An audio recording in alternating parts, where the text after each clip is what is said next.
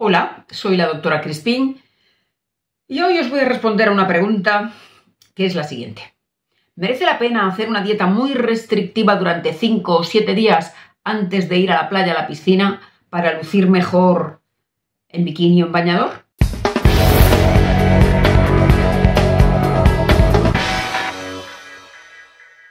Antes de nada, recordaros que esto es una charla informal, que no va a sustituir una consulta profesional y que me compartir la información que he ido adquiriendo después de más de 20 años trabajando en consulta médica de nutrición y medicina estética.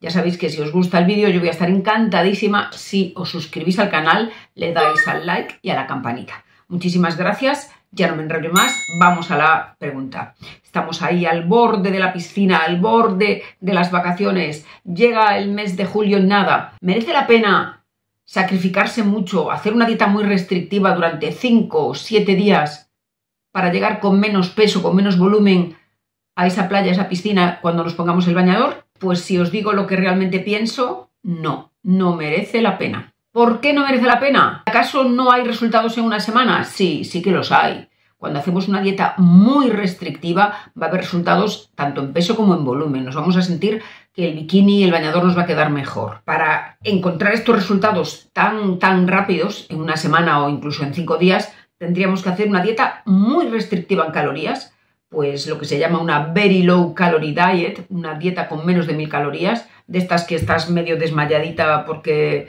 no tienes mucha energía. Tendríamos que hacer una dieta muy restrictiva en grasas. Lo que yo normalmente recomiendo en este tipo de dieta son dos cucharadas de aceite por día.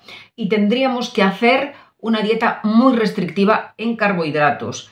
Cuantos menos mejor y posiblemente quitar absolutamente todos los carbohidratos malos, obviamente, pero también carbohidratos buenos como los cereales enteros, como las legumbres, como el pan integral y dejar solamente pues las verduras con menos hidratos y mm, alguna fruta, pues a lo mejor dos al día, pero para de contar. Estas dietas tan bajas en carbohidratos, tan bajas en calorías, sí nos permiten un resultado tanto en peso como en volumen muy rápido. ¿Por qué digo yo que no merece la pena? Bueno, vamos a ver. Si resulta que después de siete días lo que tengo es una sesión de fotos en bikini, pues sí, porque ese día voy a estar pues mucho mejor, mucho más delgadita y con menos tripa, obviamente. Si lo que pasa es que ese día tengo un evento, una boda, me caso yo y tengo que lucir el vestido, pues sí, me merece la pena. O sea, cuando es un esfuerzo de mm, siete días, porque el día 8 es que hay algo, un evento que ahí tengo que estar mm, mucho mejor, mucho más delgadita, mucho más esbelta, sin tripa. Bueno, pues para eso merece la pena.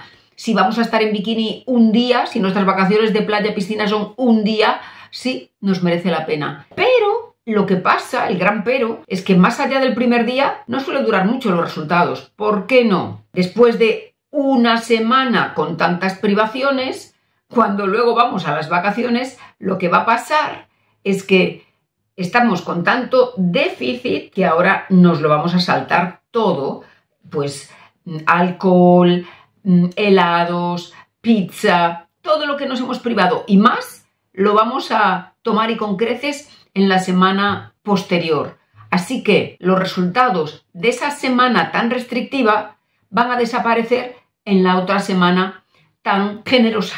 En la primera hemos estado malnutridas por un déficit en cuanto a nutrientes. Y en la segunda semana, en la de vacaciones, vamos a estar malnutridas porque vamos a tener pocos nutrientes pero muchas calorías de más vacías. Conclusión, es un poco frustrante. Y cuando hacemos esto una y otra vez, la verdad que la gente que yo veo que lo repite acaba bastante frustrada.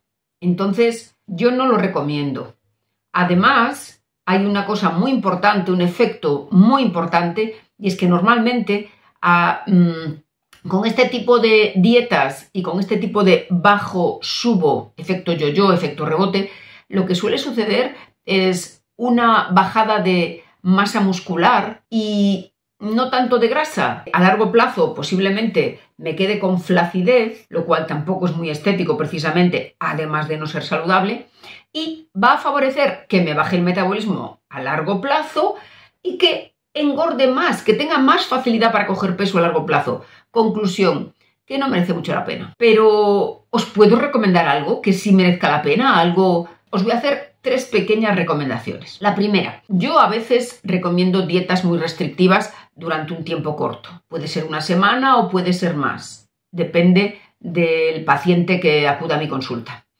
Eso sí, siempre recomiendo que las dietas extremadamente restrictivas, las dietas de cetosis, las dietas de very low calorie diets de menos de mil calorías, se realicen con un profesional, sobre todo por garantizar no solo que se ejecuten bien este tipo de dietas difíciles, sino por garantizar que se mm, mantengan los resultados a largo plazo. Eso solo va a ser posible si hay un cambio de hábitos y eso normalmente es un resultado que requiere bastante tiempo, no una semana ni dos, requiere meses y a veces incluso años. Y mucho mejor si hay un profesional que me acompaña, me asesora, me anima, me motiva. Segunda recomendación, cuando tengáis un exceso ocasional, por ejemplo, pues un sábado un domingo que coméis pizza o que bebéis unas cervezas o que tomáis un helado mmm, gigante, bueno, ¿Qué recomiendo yo ahí? Es algo ocasional, no es llevo todo el invierno y la primavera acumulando grasa y comiendo todo lo que me da la gana, sino que me he cuidado toda la semana y el domingo quedo con mis amistades, mis familiares o yo misma que quiero celebrar pues que es domingo y me compro un mega helado italiano riquísimo. Ese exceso o ese premio, ese extraordinario, eso que no es lo que hago habitualmente, debo disfrutarlo porque si no no merece la pena, vaya. Si me siento fatal, pues, ¡ay, qué mala soy, qué mala soy! No, para eso no me lo... No, es qué rico está, me lo merezco, lo disfruto y como ya lo he disfrutado, vuelvo a mi rutina saludable cuanto antes. Si resulta que en vez de comerme un helado y luego darme un buen paseo, es que me he comido la pizza, la cerveza y el helado, o sea que me he puesto fina. Vale, entonces sí que recomiendo compensar justo después. Es decir, imaginemos que mm, hoy es domingo y como una pizza entera, bebo cerveza y me tomo un helado. Vale, es bastante, al menos para mí eso es mucho. Y entonces, ¿qué pasa? Pues que lo que voy a hacer es que luego, posiblemente aprovechando la plenitud gástrica, la saciedad, que incluso la modorra y el sopor que me da comer todo eso y beber alcohol, si es que además he bebido alcohol, voy a aprovechar esas sensaciones negativas para dar un descansito a mi aparato digestivo.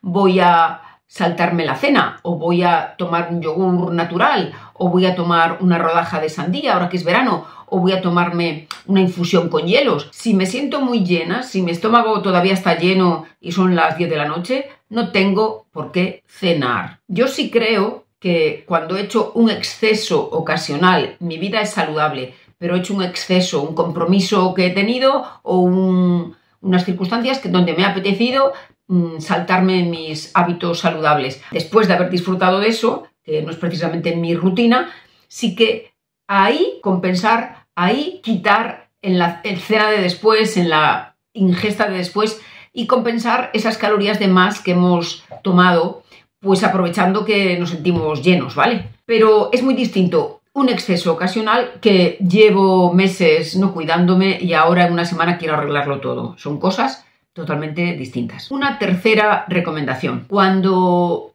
realmente llevo pues el invierno y la primavera mal comiendo o mal bebiendo, lo que debo hacer es realmente cambiar mis hábitos. Para cambiar mis hábitos alimenticios, bueno, eso no es rápido, no se hace una semana. Eso empieza por un cambio de chip, un cambio en mi motivación. Empieza por creer que a mí me compensa. Pues a lo mejor porque no soy tan joven y me quiero cuidar, porque ya no tengo 20 años y el cuerpo no responde tan rápido a las dietas. Entonces, como soy mayor, como quiero tener buena calidad de vida, como mi cuerpo tiene otro metabolismo que no el que tenía a los 18 años, pues me compensa cuidarme. Esa motivación, esa idea que no solo la tengo aquí, la tengo en mis tripas y me la creo me motiva para cuidarme. Y como quiero cuidarme, pues hago todo lo posible para cambiar mis hábitos. Sé que no va a ser en una semana, ni en cinco días, ni en seis, no, pero sé que voy a poder hacerlo. Y si yo sola no puedo, voy a un profesional y que me ayude. Muchas veces vamos a profesionales para que nos ayuden y nos corten el pelo, nos hagan las uñas, para que nos hagan la comida y así hoy no cocino. Bueno, pues también puedo ir a un profesional que me ayude a cambiar mis hábitos porque quiero cuidarme a largo plazo, no solo cinco días antes de ponerme el bikini, ¿vale? Espero que os haya gustado y nos vemos en la próxima. Adiós. A cuidarse.